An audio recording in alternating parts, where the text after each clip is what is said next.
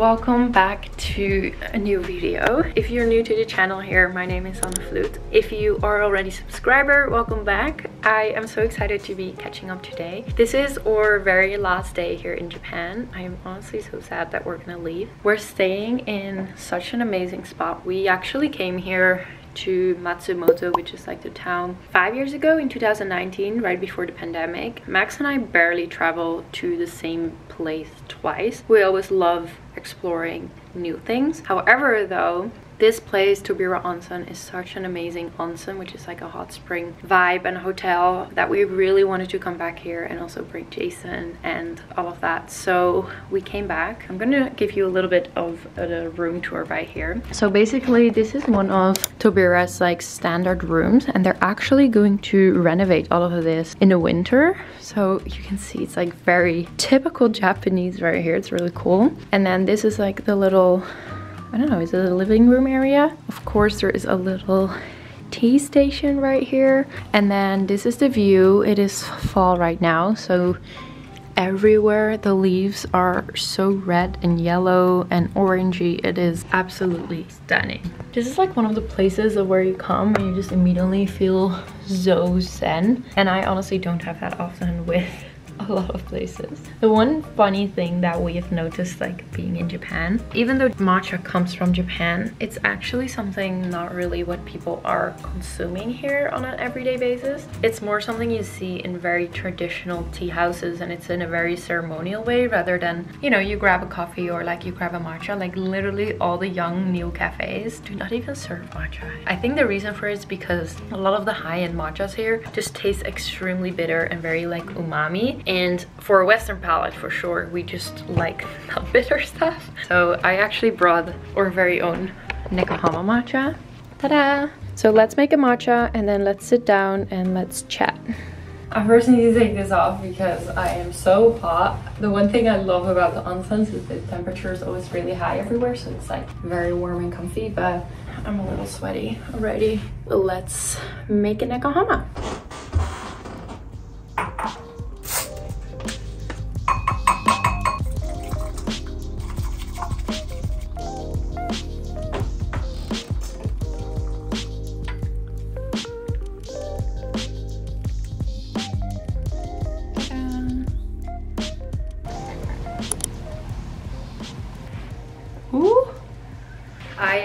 Terrified right now with this matcha above the white carpet.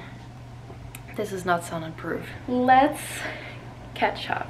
I always love doing our coffee talk series because in a way it's some type of like therapy for me to just be talking and like getting things out there.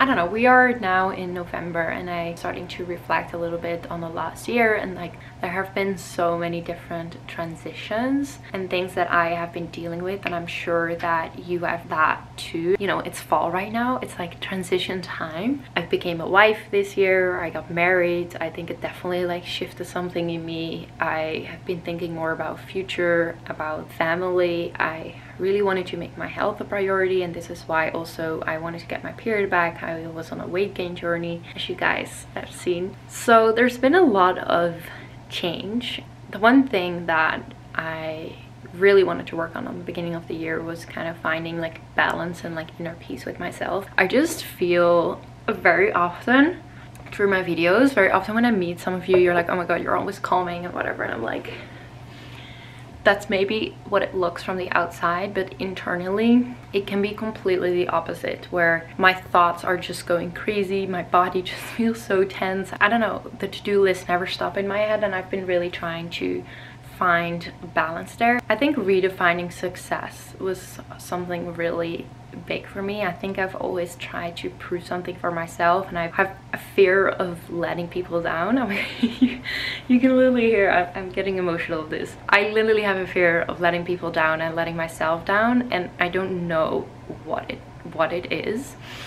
Um, it's something I have really been working through in the last few months and I've made so much progress and I actually feel so much more inner peace. I definitely felt that on this trip. One of the biggest things that have helped for me is doing therapy. Um, as you guys know, my good friend Jason is my coach, my therapist, we've been really talking a lot and like working through everything. And I truly believe that therapy is one of the best things you can do for your mental health and also for your personal growth and to become a better version of yourself. It is an amazing way to just get your thoughts out, your feelings and to, to process them and it's something I can recommend literally to everyone even if there's not a specific problem that you're dealing with. I can completely understand that starting therapy is confusing, it's scary, and it's very intimidating. Like I feel so lucky that Jason is a good friend of mine and is there for me to support. But there have been moments that I was going through some things that I rather discussed with a female therapist and this is where I found BetterHelp. Today's video is actually sponsored by BetterHelp.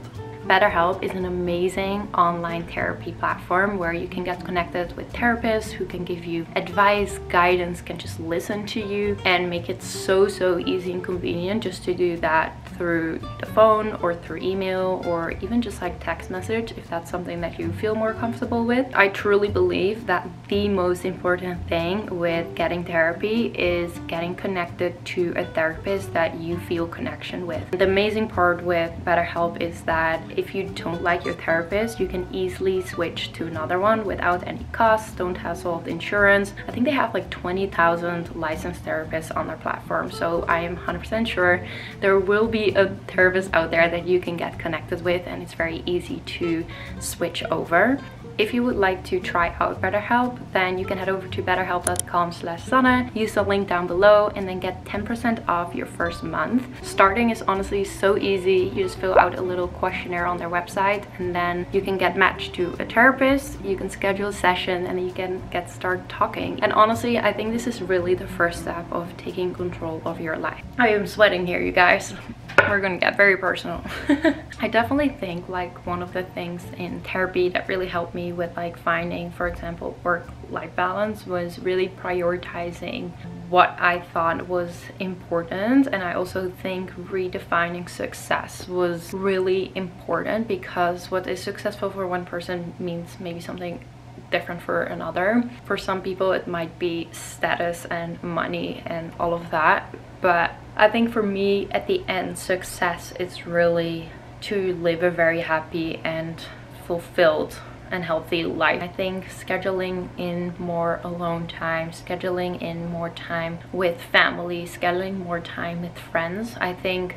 that definitely has helped me a lot in finding balance. You know, before doing a massage or going on a trip or whatever, I just feel those type of things are just kind of like very short-term type of solutions. Like i often thought like oh i need a break and then i would i don't know go for a spa day or i would go on a little mini vacation or whatever but at the end it is certain like habits and lifestyle habits that you actually need to change to have a long-term effect. So i definitely think doing that like having more family time on a very consistent consistent basis more alone time and i think redefining productivity there as well. I always felt if i was productive with work then i would just like feel good about myself. And this is something i definitely had to learn because you can be productive in self-care or just productive in being with your relationships. And I think knowing that is something else but actually feeling that in your body is much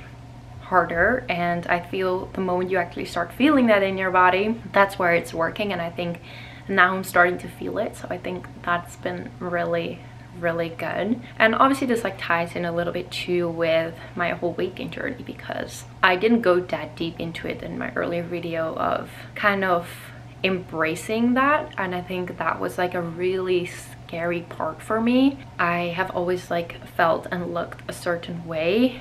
And you know I, I set a goal of I want to gain weight I want to have curves I want to feel more feminine. But then again thinking that and saying that is so different than when it's actually happening when you're like oh my god my pants is not fitting anymore. Oh wait this dress used to look really good like that but now not anymore. And it just your body just changes. And I think this is the one thing that after I posted my video there were so many of you in my DMs talking about this that it's sometimes scary to have your body change and it feels weird. And you just gotta like embrace it and celebrate it and just be so grateful that your body is working that it's showing up for you every single day in the way it does. So I definitely think finding a lot of like gratitude there a lot of connection was really big. And I would be lying if I'm saying I completely mastered that because I am still, I still have days where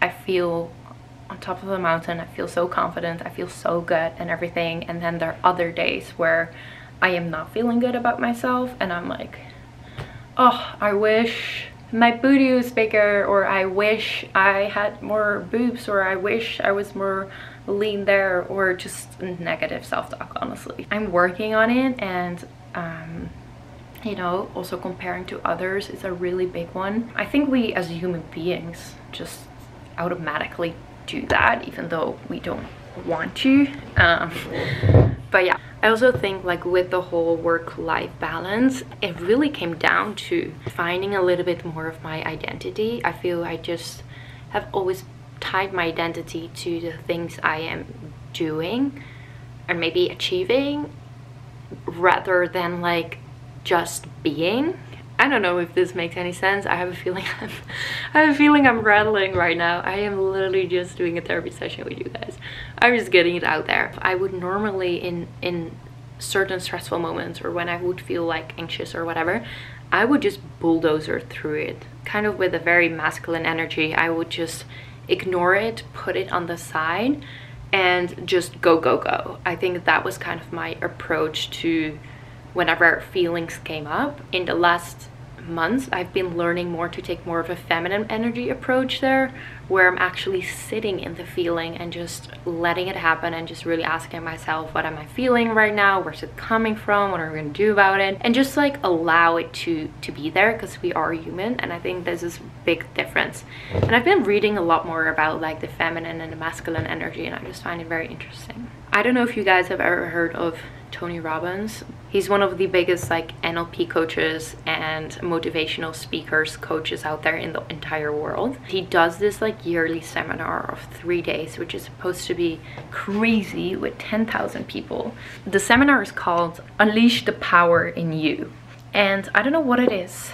I, over the last few months, I felt there is more for me to get out and to give but I don't know how to untap it. I also really know that obviously Jason and Max are all about like self-growth and really enjoy it. So I gave them a birthday present and the three of us are going to Tony Robbins next week or it this weekend? It's gonna be so fun. I do not know what to expect. It is 10,000 people in a giant stadium. You're gonna be yelling, you're gonna be jumping, you're gonna be springing and apparently people have insane breakthroughs in life, in personal life, work life, kind of like everything. I don't know. I don't have any expectations going in there. Um, I still need to do some worksheets, whatever, before that. But I think this is going to be really, really cool. And I feel very fortunate that I'm going to be able to do something like this.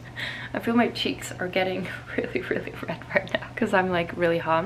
Also guys, this is the lip balm that I've been using in almost every video and you guys have all been asking. It's the Rhode peptide lip treatments and I'm obsessed with it. I really, this I think this is the unflavored one. I really like the caramel one. It's really good. I hope you guys enjoyed this little coffee talk. I guess it's a little matcha talk. I just wanted to let you know that whatever you're going through, you are definitely not alone. We are all human beings struggling with our own insecurities, fears. Um, that is okay we're all here to support one of each other and I hear you, I can see you. Let me know in the comments down below if you have any other questions for me and I will see you guys very soon.